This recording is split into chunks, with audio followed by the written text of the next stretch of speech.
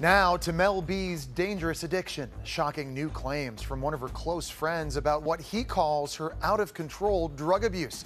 In this Daily Mail TV exclusive, Mel B's former nanny, Rusty Updegraff, says her fixation on using is so bad, the singer and TV personality could tragically end up like another famed songstress. She's going to end up like Whitney Houston, and that really scares me. He's part of Mel B's inner circle. He wants the 43-year-old star to get clean and sober. The thing is, is you don't just give up drugs. The drugs are in charge. That's the thing. Look at Whitney Houston. She talked about it and she just kept going. Whitney first opened up about her drug use in a 2002 interview with Diane Sawyer. Let's get one thing straight.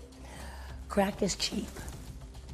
I make too much money to ever smoke crack. Let's get that straight, okay? We don't do crack. We don't do that. Your crack is whack. Ten years later, Whitney Houston has died. Singer Whitney Houston is dead. The death of singing star Whitney Houston. The legendary singer was found face down in the bathtub of the Beverly Hilton Hotel. Mel B, who says she kicked cocaine, writes candidly about past drug use in her new memoir, Brutally Honest. Weeks into filming The X Factor, I'd started using cocaine to get me through the run of the show. I had a routine. I'd wake up in the morning and snort two lines. After her day was over, the cocaine would come back out of my bag and up into my nose. Rusty Updegraff isn't convinced Mel B is finished with the drug. He says she's surrounded by enablers. This is going to go on and no one's going to say anything. They all want to stay on that money train and that glamour lifestyle with them. She lives in a delusional world, a fake reality. The Spice Girl also writes that she used cocaine to cope with physical and emotional abuse from her ex, Stephen Belafonte.